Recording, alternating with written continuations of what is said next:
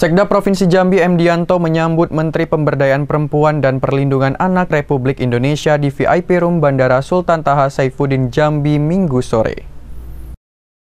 Kehadiran Menteri Pemberdayaan Perempuan dan Perlindungan Anak Republik Indonesia Yohana Yembise di Provinsi Jambi untuk melakukan beberapa kegiatan yang sudah diagendakan. Sekda Provinsi Jambi yang didampingi oleh Kadis P3A Provinsi Jambi Lutfiah menyambut secara langsung di VIP Room Bandara Sultan Taha Saifuddin Jambi. Menteri Pemberdayaan Perempuan dan Perlindungan Anak Republik Indonesia tiba di VIP Room Bandara Sultan Taha Saifuddin Jambi pada pukul 17 waktu Indonesia Barat disambut dengan taris kapur sirih oleh beberapa penari.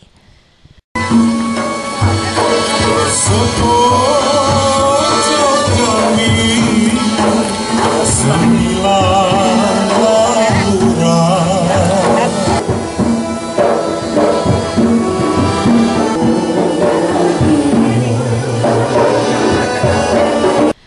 P3A Republik Indonesia kemudian diajak ke ruangan VIP untuk menikmati beberapa hidangan khas Provinsi Jambi.